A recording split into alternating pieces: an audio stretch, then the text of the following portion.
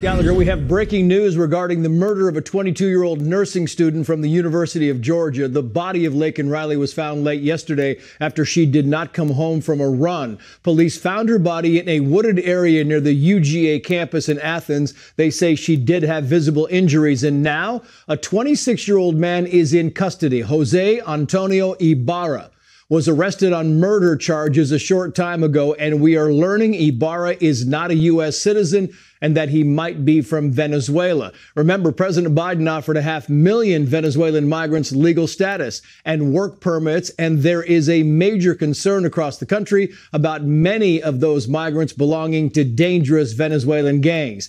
If this suspect turns out to be a Venezuelan criminal, the crisis at the southern border is about to take on an entirely new dimension. Fox News at night. So again, we have a tragic story that a young person, a young innocent person, was abducted and killed by an illegal immigrant. It's not the first time we have seen these stories over the past couple of years, and unfortunately, it won't be the last. This young lady, her name is Laken Riley. She was a 22 year old nursing student, the University of Georgia, and she went out for a run and she never came back. The authorities were notified and the search ensued and unfortunately, they found her deceased. They have since arrested 26 year old Jose Antonio Ibarra. Mr. Ibarra is a Venezuelan national who was let out on parole in Venezuela and crossed into El Paso, Texas in September of 2022 illegally. He has since been charged with malice murder, felony murder, aggravated battery, aggravated assault, false imprisonment, kidnapping, and hindering a 911 call, and he concealed the death of another. That another is that young lady, Laken Riley. This is the scholar right here. And I say scholar because these are the people that the Biden administration want to let into our country. As a matter of fact, the Biden administration wanted to give thousands of Venezuelan nationals working papers so they could stay in the United States and do whatever it is Biden thinks they were going to do. But what they fail to understand is these people are criminals. And I'm not going to say all, but a lot of them are hardened criminals. Specifically, this man right here was in prison in Venezuela for God knows what. But their authorities didn't care he served his time. Let's let him on parole. And the first thing this guy did was take off and head for the border. And lo and behold, he ended up in our country and he has killed someone. He has killed a young girl who was studying nursing in college, probably something she's thought of since she was a little girl. And her life was taken by a thug, a criminal, someone who did not belong in the United States of America. But because we have thousands upon thousands crossing into this country every day, there's nothing the authorities can do.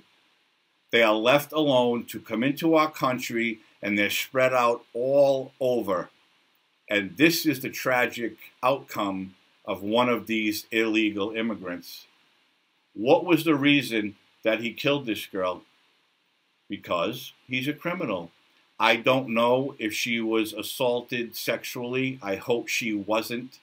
But they said her body did have a lot of bruising on it, and an autopsy has to be performed so they can determine exactly how she died. A life cut short by a scumbag who should have still been in prison in his country of origin. But no one cares. No one cares, especially U.S. politicians. And there's one politician in particular who doesn't care, and her name is Alexandria Ocasio Cortez. She recently held a town hall meeting, and she was interrupted by people yelling and screaming that she does nothing for the people of New York. All she cares about is letting illegal immigrants into this country, and of course, she denies that. All right.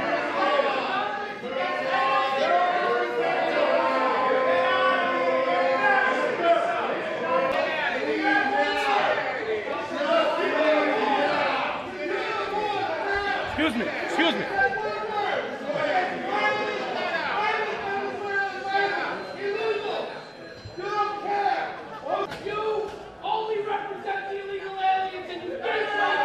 Well, clearly I don't because I'm an elected member of Congress. So keep it pushing, bro. That right there is fed up people. They're tired of being abused by politicians who they elected into office, and now the politician turns on them, and they don't care about the residents who they're supposedly serving. They care about bringing illegal immigrants into this country. And AOC can deny that all day long. But you know, and I know, it's true. And she recently gave an interview, and she told us basically that the border crisis is pretend. It's a narrative made by the Republican Party because they're racist and they have nothing else to talk about. The idea that Republicans, in order to win an election, say we need to hermetically seal the border when they know that that would be that is economic self-sabotage to the US economy. And they are saying let's let's do it anyway. And to compensate for the negative effects we're going to allow and throw people's kids into factories. That is what they are doing in rolling back child labor laws while being as xenophobic and anti-immigrant as, as they are.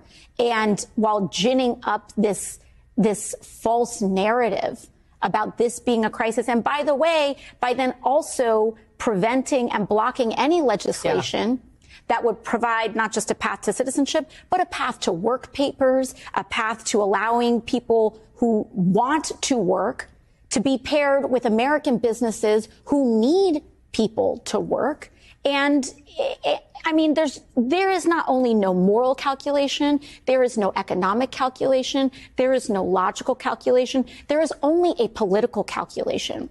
And that political calculation is we are going to keep whining about it. Mm-hmm. We are going to keep pretending this is a crisis while contributing to actual problems. And then we're going to block the solution so that we can campaign on it over and over and over. And we can call it caravans. We can call it migrant crises. We can call it family separation. And they will just recycle it over and over and over again in order to gin up, you know, just so much animosity and destruction in this country and racism in this country, because that's the only thing that the Republican Party even is standing on at this. So that was the congressional bartender telling us that there is no border crisis Republicans refuse to pass any border legislation. They're basically self sabotaging our economy by not letting millions of illegals into our country. How is that self sabotaging? People coming in are being taken care of by sanctuary cities and states who are now complaining to the Biden administration that they can't afford it. And what's the Biden administration doing? Telling them, oh, well, we can't help you. You're on your own. AOC also accuses Republicans of wanting to roll back child labor laws and keep these kids in their own countries so they could be thrown into factories. Have them work for little to no money as young children when we all know that's also false. The border crisis is not a false narrative. It is a real crisis that our country is facing, and it's been facing since Joe Biden took office in 2020. Republicans want to work on a border bill, but they refuse, and I agree with them, they refuse to get on board with something that's going to give billions of dollars more to Ukraine instead of the United States borders. Let's say, for instance, the Dem- uh, congressional Democrats want to give 75 billion to Ukraine and 15 billion to the US borders. Why would anybody be on board with that? We're tired of funding a war in Ukraine while our country is being invaded by God knows who. And they're coming from all over. They're coming from China. They're coming from the Middle East. They're coming from Africa. They're coming from everywhere. And these Democrats will continue to tell us and want us to believe that their families looking for a better life. But if you go back to 2020 and start looking into this border crisis, you'll see that the majority of the people crossing are military age men. And why is that? I wish I had an answer, but what I'm thinking is not good. Our country is being taken over by people from all over the world. And AOC is saying that all we care about is using that as a narrative to win elections. People should be outraged and not vote for any politician, Republican or Democrat, who think an open border is okay.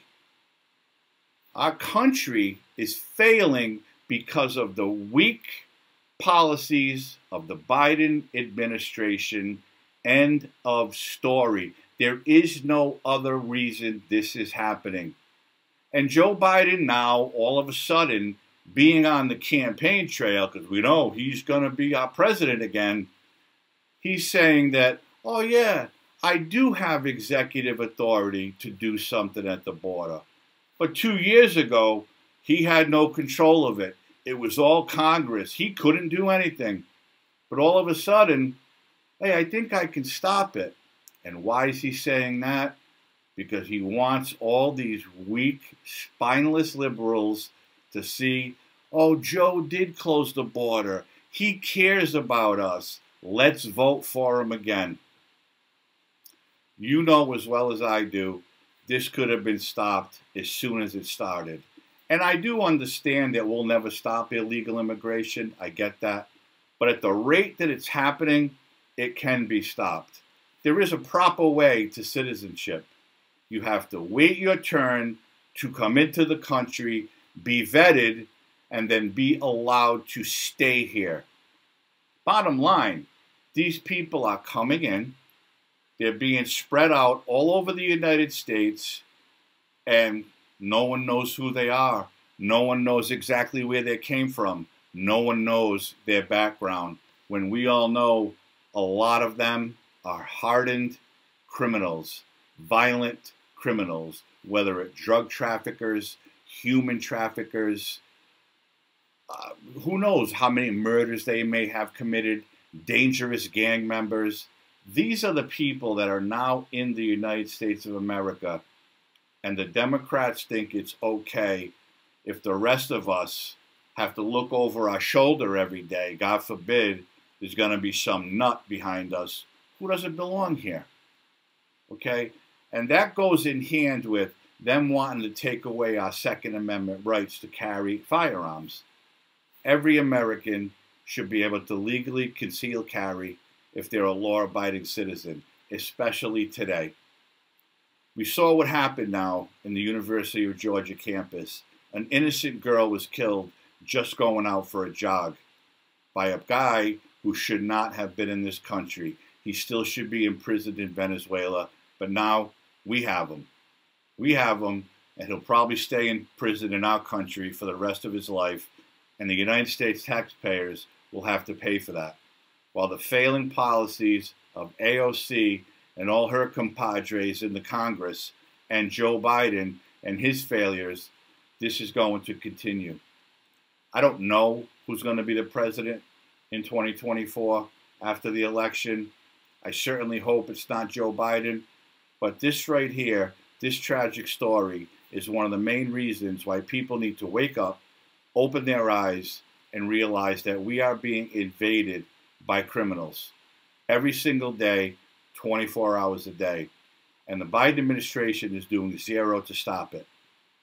He needs to close the borders.